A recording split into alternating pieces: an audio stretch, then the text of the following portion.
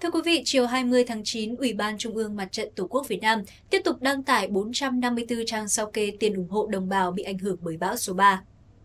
Theo danh sách, 454 trang được đăng tải trong ngày 16 tháng 9, có 16.283 giao dịch chuyển tiền ủng hộ đồng bào bị thiệt hại do bão số 3 đến số tài khoản ngân hàng Việt Tin Banh CT111 của Ban vận động cứu trợ Trung ương. Tính đến 17 giờ ngày 19 tháng 9, các tài khoản của Ban vận động cứu trợ Trung ương đã tiếp nhận tổng số tiền là 1.495 tỷ đồng. Ban vận động cứu trợ Trung ương đã hỗ trợ đến các địa phương hai đợt với tổng số tiền là 1.035 tỷ đồng. Phó Chủ tịch Ủy ban Trung ương Mặt trận Tổ quốc Việt Nam Trương Thị Ngọc Ánh cho biết, nguồn kinh phí sẽ giúp chính quyền địa phương có thêm nguồn lực, trước mắt tập trung khắc phục hậu quả, thiệt hại do cơn bão số 3 gây ra, lâu dài sẽ tiếp tục hỗ trợ bà con khôi phục sản xuất, tái thiết và ổn định cuộc sống sau bão. Bà Trương Thị Ngọc Ánh cam kết số tiền ủng hộ sẽ được ban vận động cứu trợ Trung ương sử dụng đúng mục đích, yêu cầu và công khai theo đúng quy định của pháp luật, phân bổ kịp thời, minh bạch đến đúng người, đúng địa chỉ tại các địa phương đang chịu ảnh hưởng sau cơn bão số 3. Phó Chủ tịch Ủy ban Trung ương Mặt trận Tổ quốc Việt Nam cũng bày tỏ mong muốn các cơ quan đơn vị, tổ chức cá nhân sẽ tiếp tục phát huy tinh thần tương thân tương ái, lan tỏa thêm nhiều ý nghĩa cao đẹp, chung tay giúp đỡ những người còn khó khăn trong xã hội. Thưa quý vị, chiều tối ngày 20 tháng 9, lãnh đạo Ủy ban Nhân dân huyện Anh Sơn, tỉnh Nghệ An cho biết, lực lượng chức năng đang khẩn trương tìm kiếm một người phụ nữ bị nước lũ cuốn trôi. Sự việc xảy ra vào khoảng 15 giờ 45 phút cùng ngày, một người phụ nữ chở theo hai con đi xe đạp điện qua cầu Khe Cốc, xã Hoa Sơn, huyện Anh Sơn, tỉnh Nghệ An. Do nước lũ lên nhanh khiến cả ba mẹ con bị cuốn trôi, người dân địa phương đã nhanh chóng cứu được hai trẻ em là con của chị 8 tuổi và 10 tuổi. Riêng người mẹ tên PTT, sinh năm 1986, chú thôn 8, xã Tường Sơn, tỉnh Nghệ An, hiện đang mất tích. Theo Đài khí tượng thủy văn khu vực Bắc Trung Bộ, từ 5 giờ đến 11 giờ ngày 20 tháng 9, trên địa bàn tỉnh Nghệ An có cơn mưa vừa đến mưa rất to tại nhiều khu vực. Các địa điểm mưa lớn được ghi nhận gồm Tân Kỳ từ 113,6 mm, Thanh Hương 104,8 mm, Quỳnh Lưu 70,8 mm.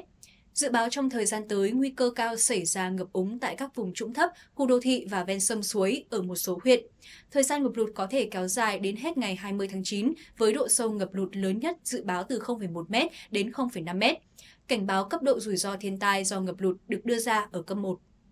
Thưa quý vị, mới đây công ty đấu giá hợp danh số 5 đã thông báo về việc tạm dừng phiên đấu giá đất Đan Phượng đối với 26 quyền sử dụng đất tại xã Trũng Vỡ, xã Tân Hội, huyện Đan Phượng, Hà Nội. Nguyên nhân do yêu cầu của Trung tâm Phát triển Quỹ đất huyện Đan Phượng gửi công văn thực hiện công tác giả soát lại quy trình thủ tục, phương án đấu giá theo luật đất đai mới. Việc tiếp tục triển khai tổ chức đấu giá, công ty cho biết sẽ thực hiện theo quy định của pháp luật và được thông báo công khai sau khi có quy định và đề nghị của Trung tâm Phát triển Quỹ đất huyện Đan Phượng. Theo kế hoạch, huyện Đan Phượng dự kiến tổ chức đấu giá quyền sử dụng 26 thửa đất vào sáng mùng 5 tháng 10 tại hội trường Trung tâm Văn hóa Thông tin và Thể thao huyện Đan Phượng. Diện tích các thửa đất đấu giá từ 75 đến 102,2 m2, giá khởi điểm là hơn 13 triệu đồng trên 1 m2. Người tham gia phải đặt trước tiền gửi từ 196 đến 267,9 triệu đồng trên một thửa, tùy diện tích. Hình thức đấu giá bằng bỏ phiếu trực tuyến theo nhiều vòng và tối thiểu qua 6 vòng bắt buộc. Đáng chú ý, mức giá là khá lớn với 12 triệu đồng trên 1 mét vuông mỗi bước. Hình thức này giống như phiên đấu giá đất tại huyện Hoài Đức đã kéo dài trong gần 20 tiếng đồng hồ từ sáng 19 tháng 8 đến dạng sáng 20 tháng 8 qua 9 vòng đấu với 6 vòng bắt buộc mới kết thúc. Tiến sĩ Nguyễn Ngọc Huy, chuyên gia nghiên cứu biến đổi khí hậu và thiên tai vừa có chia sẻ khẳng định vấn đề Lào Cai xuất hiện những đám mây có màu đỏ lạ trên bầu trời không liên quan đến vấn đề tâm linh. Trước đó vào chiều 19 tháng 9, trên bầu trời Sapa, tỉnh Lào Cai đã xuất hiện những quầng mây sắc đỏ rực như dung nham núi lửa cuộn trào đã thu hút sự chú ý của nhiều người. Ngay sau đó, nhiều người đã chia sẻ hình ảnh trên mạng xã hội và cho rằng những đám mây có ý nghĩa về phong thủy tâm linh. Trước những thông tin trên, tiến sĩ Nguyễn Ngọc Huy chia sẻ, mây màu đỏ xuất hiện khi ánh sáng xanh bị phân tán và ánh sáng đỏ chiếm ưu thế. Ánh sáng đỏ thường xuất hiện vào khung giờ buổi chiều muộn và buổi sáng sớm, và mây màu đỏ xuất hiện với những điều kiện đồng thời xuất hiện như khí áp của bầu khí quyển tại thời điểm đó cao, khiến cho các hạt vật chất bao gồm cả bụi và các hạt khí khác bị giữ lại ở bầu khí quyển, làm phân tán ánh sáng, hai là do thời điểm và góc chiếu, cuối cùng là khi đám mây đủ dày và riêng biệt. Các đám mây như những màn chiếu hứng ánh sáng nên đã xuất hiện những đám mây màu đỏ trên bầu trời.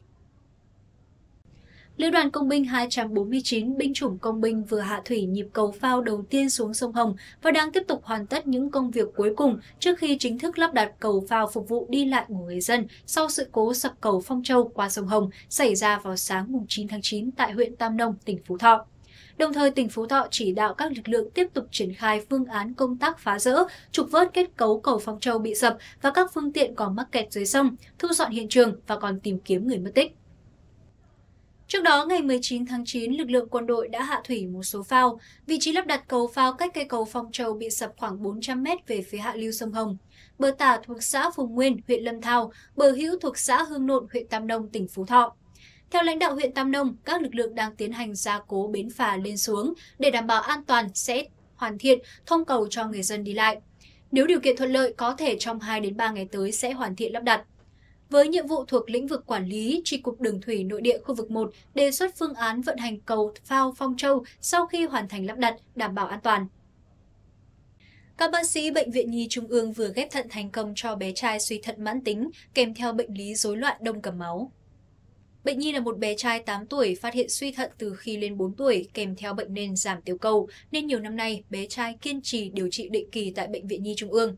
Tuy nhiên vào tháng 11 năm 2023, tình trạng trẻ trở nặng gây biến chứng chức năng tim phổi nên trẻ được chỉ định điều trị lọc máu. Tình trạng suy tim của trẻ cũng khiến quá trình điều trị bị ảnh hưởng rất lớn. Trẻ phải chạy thận nhân tạo hàng ngày để giảm tình trạng quá tải cho tim. Sau nhiều lần hội chuẩn, các bác sĩ xác định rõ các yếu tố nguy cơ, phương pháp phẫu thuật, gây mê, hồi sức cụ thể, sau đó quyết tâm ghép thận cứu sống trẻ. Ngày 27 tháng 8, các chuyên khoa trong bệnh viện cùng tham gia phối hợp thực hiện ca ghép thận cho bệnh nhi 8 tuổi. Sau 5 giờ phẫu thuật, ca ghép thận diễn ra thành công. Hiện tại sau 14 ngày ghép thận, trẻ hoàn toàn ổn định, tỉnh táo, ăn uống bình thường và được ra viện từ ngày 11 tháng 9 Tính đến năm 2004 đến nay, Bệnh viện Nhi Trung ương đã ghép thận thành công cho gần 70 bệnh nhi. Ca ghép thận cho trẻ 8 tuổi này cũng trở thành ca ghép khó nhất từ trước đến nay của Bệnh viện Nhi Trung ương. Cám bộ phim kinh dị được lấy cảm hứng từ chuyện cổ tích Tấm Cám, thu hút nhờ lối kể chuyện sáng tạo và khâu diễn xuất, song kịch bản còn một số hạn chế. Phim điện ảnh Cám được thực hiện bởi bộ đôi nhà sản xuất Hoàng Quân và đạo diễn Trần Hữu Tấn. Câu chuyện phim là dị bản kinh dị đẫm máu lấy cảm hứng từ chuyện cổ tích nổi tiếng Tấm Cám. Nội dung chính của phim xoay quanh Cám, em gái cùng cha khác mẹ của Tấm, đồng thời sẽ có nhiều nhân vật và chi tiết sáng tạo, gợi cảm giác vừa lạ vừa quen cho khán giả. Phim đào sâu vào hành trình hắc hóa của nhân vật Cám từ một thiếu nữ hiền hòa sau khi bị một thực thể thao túng đã trở thành một ác quỷ lòng đầy căm phận đạo diễn Trần Hữu Tấn cùng nhà sản xuất Hoàng Quân đã khéo léo biến câu chuyện dân gian thành một hành trình trả thù rùng rợn và đẫm máu.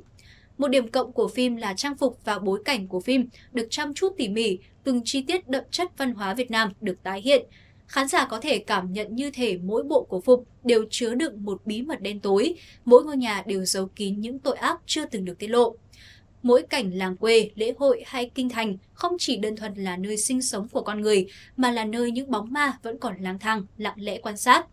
Với thời lượng 122 phút, phim bị cho là vẫn khá dài dòng. Trong phim, một số phân đoạn bị cắt xén đột ngột cũng khiến nhiều người khó chịu. Ngoại ra, giọng nói của một số nhân vật phải lồng tiếng như là tấm, thái tử hay là bờm cũng khiến tổng thể bộ phim mất cảm xúc. Dù vậy, Cám vẫn là bộ phim đáng để cho khán giả bỏ tiền tới dạp, nhất là trong bối cảnh phim Việt gần như đang cạn kiệt đề tài, thiếu những tác phẩm có tính chất khác lạ, đột phá.